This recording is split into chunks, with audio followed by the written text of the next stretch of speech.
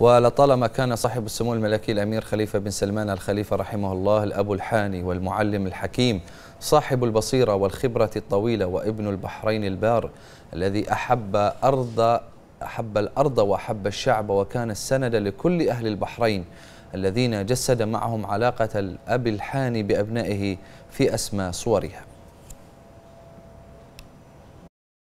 هي لحظات صعبة عصية على النسيان عاشها الأمير الراحل الباقي في قلوبنا مع أبناء البحرين الذي جسد معهم علاقة الأب مع أبنائه في أبهى معانيها فكان رحمه الله عنوانا للحب والحنان واليد الممدودة للجميع دون استثناء حتى بات سندا وذخرا وعونا لشعب المملكة.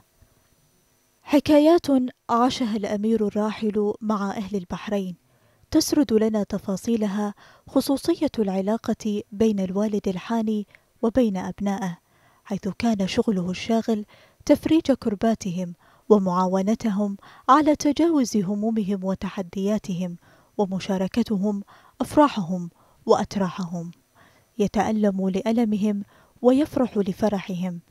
لذا فإنهم يحملون له حبا ذا وقع خاص ومعان عميقة ودلالات متنوعة تبقى متجذرة في قلب كل بحريني وبحرينية.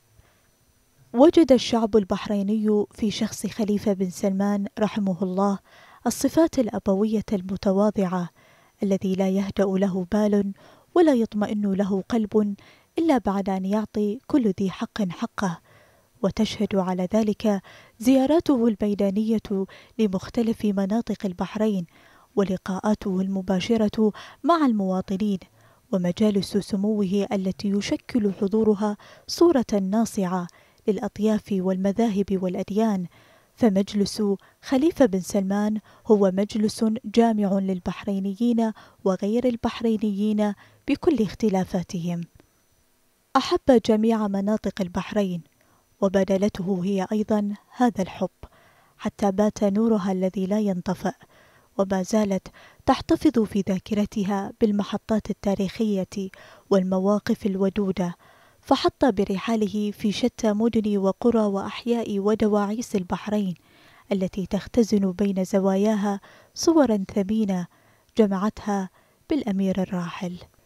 إنه الأمير الذي تعجز الكلمات عن وصفه الكريم والنبيل السخي في عطائه المحتضن والراعي للجميع وهل يمكن إغماض العين عن مبادرات سموه العديدة والمتواصلة لحفظ حقوق وكرامة المواطنين وخدمتهم وتأمين أفضل الخدمات الحياتية لهم ورفض الأضرار أو الإيذاء الذي قد يلحق بالمواطنين.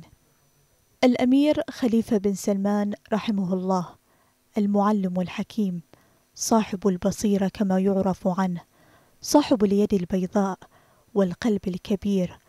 أحبه الصغير والكبير وملك القلوب بعطفه وتسامحه للجميع. فتح قلبه للجميع فتهافت عليه المواطنون والمقيمون. فهو ابن البحرين البار الذي أحب الأرض وأحب الشعب وكان السند والعضيد والناصح الأمين. ستبقى في القلب والذاكرة ما حيينا